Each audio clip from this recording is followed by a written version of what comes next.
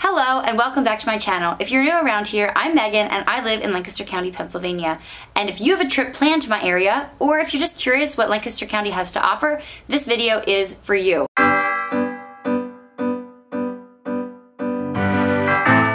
I'm gonna tell you about five locations and one bonus location that I recommend that you go to if you are on a budget.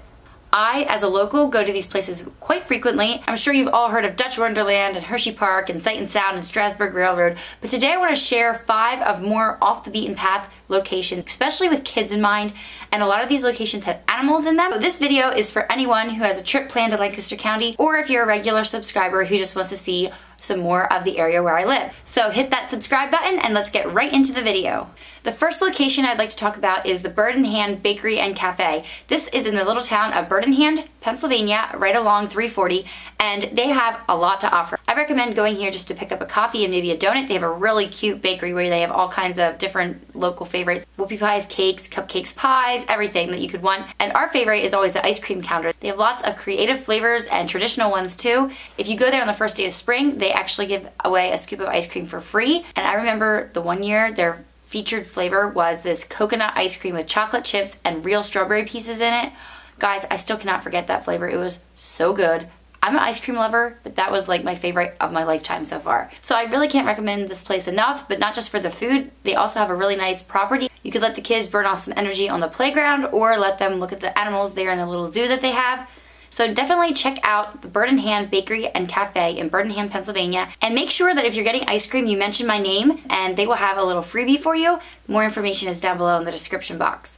Moving on, the next place is also really close to the Hand Bakery and Cafe, and it doesn't really have a name. I will put the address down below in the description box as well. But if you type that place into your GPS, it is going to take you to an Amish organic farm where they have camels grazing right in among their cows. They live right there in a barn, just like any other cattle. And I just find this super fascinating. It's not what you'd expect to see. Makes it feel like you're getting the Middle East mixed in with Lancaster County. And yeah, it's just really fascinating. This place is not really an advertised tourist attraction, but that's why I'm putting it in this video because I think it's really fascinating. So just make sure that you park safely and are respectful of the farmers and their land. But definitely check out the camels if you're meandering around that area. This next location is kind of an alternative to the Strasburg Railroad. I go here all the time when I don't feel like riding the trains actually, but I still want to show my children the trains going by. It's a beautiful area, rolling hills, it's just gorgeous. I took my children there recently and brought my camera along, so let me show you what it's like there. So today we are at the Red Caboose Motel. This is kind of a hidden gem in Lancaster County. It's right along the Strasburg Railroad track, so you can see the trains going by right on the hour and like 10 minutes later. And you don't have to pay or anything. You can just come and park. And I like to bike here or walk here, but um, you can watch the trains go by and then there's a petting zoo. You can get ice cream. Of course, you have to pay for that. You can even stay at the Caboose Motel in one of the car. They look like a car, but it's actually uh, room. I've never stayed there, so I can't necessarily recommend that. But I know this is a place we love to come for free to see the trains. And um, if you look at the schedule, you'll see that Thomas the Tank Engine is here sometimes too, as well as Percy and all of those guys. So definitely a great place to check out if you're not in the mood to spend too much money.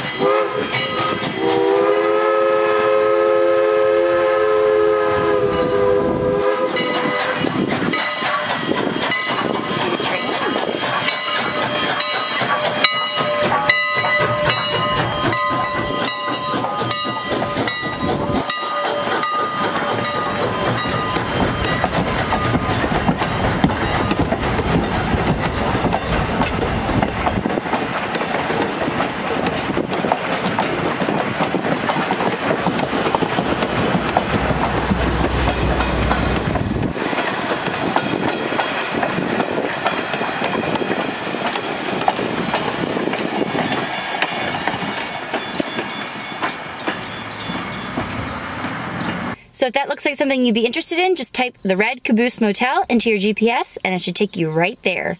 The next location I'd like to talk about is Water's Edge, and it's known mostly for their mini golf, but there's actually a lot of free things to do there as well.